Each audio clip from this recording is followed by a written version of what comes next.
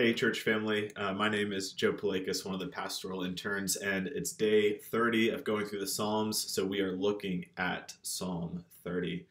And I'm excited to reflect on this one together because I think it gives us a really good glimpse at our emotions, our reactions to our emotions, and of course, God's response to us. So let's go ahead and read Psalm 30 together. Psalm 30, a psalm of David, a song at the dedication of the temple. I will extol you, O Lord, for you have drawn me up, and have not let my foes rejoice over me. O Lord my God, I cried to you for help, and you have healed me. O Lord, you have brought up my soul from Sheol. You restored me to life from among those who go down to the pit. Sing praises to the Lord, O you, his saints, and give thanks to his holy name. For his anger is but for a moment, and his favor is for a lifetime. Weeping may tarry for the night, but joy comes with the morning.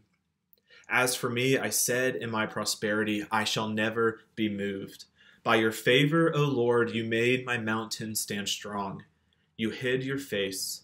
I was dismayed. To you, O Lord, I cry, and to the Lord I plead for mercy. What profit is there in my death if I go down to the pit? Will the dust praise you? Will it tell of your faithfulness? Hear, O Lord, and be merciful to me. O Lord, be my helper. You have turned for me my mourning into dancing. You have loosed my sackcloth and clothed me with gladness, that my glory may sing your praise and not be silent.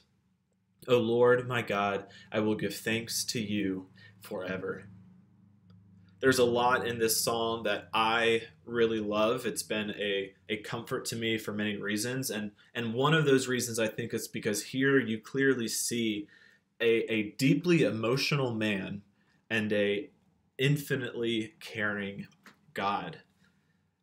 So Psalm Psalm 30 is a psalm of remembrance and praise. So we see David recording his emotions well. And I, I just want to kind of categorize his emotions into two horribly general categories joy and sadness. When this psalm was written, David is obviously joyful. He talks about extolling God, he talks about uh, being brought up from Sheol, that he's singing praises and giving thanks to God. He's experiencing favor and joy. He also, towards the end, is talking about dancing and happy dancing, not sad dancing, gladness, praising God, giving thanks forever. So clearly he he's joyful, but as he's writing, he's remembering times when this actually was not the case. David remembers moments of helplessness, helplessness. He remembers moments of experiencing God's anger, of weeping tarrying throughout the night. He experiences dismay, the need for mercy. He's mourning. Do we see the emotional range here of this man after God's own heart? This isn't a picture of an emotionally shallow or, or superficially cheerful person and I wonder how often do we think we have to have the right emotions in order to approach God? Or how often do we even fear our own emotions, thinking and fearing that they will lead us astray? There's certainly a need for biblical wisdom and how to respond to our emotions, and I actually think this psalm gives us a great template for seeing how all of our emotions can drive us to the Lord. So let's see what David does with his emotions. He cries to God for help. Um, he sings, he repeats truth. He turns to the Lord, he cries again, he pleads for mercy. He has this, this great conversation um, with God in verses 9 and 10, which, which I just love. It's, it's an honest dialogue that he has with God. It's, it's almost like he's reasoning with God he says, What good will come of my death? Will the dust praise you in my place? And what's, I think, fascinating to me is that later in the Psalms, we'll see in Psalm 103 that God remembers our frame. He knows that we are dust.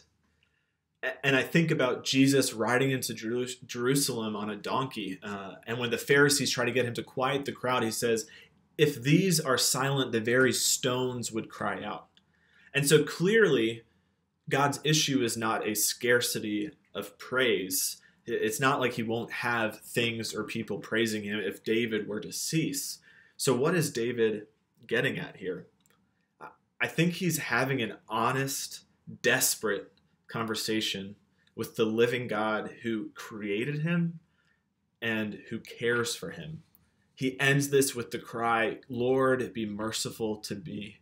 Please be my helper.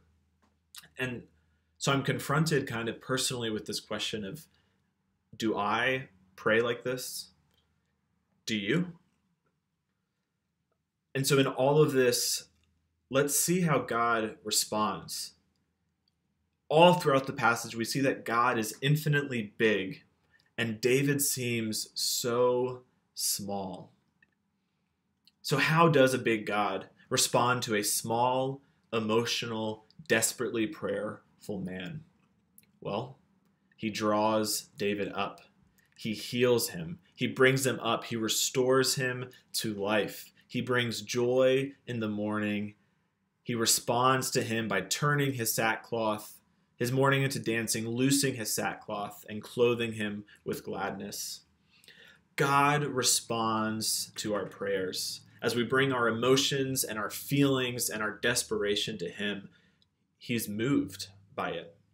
So, do we see the hope here today? That our Lord promises rest for our souls. So, let's turn to Him with the fullness of our hearts and be known and loved by the one who created us.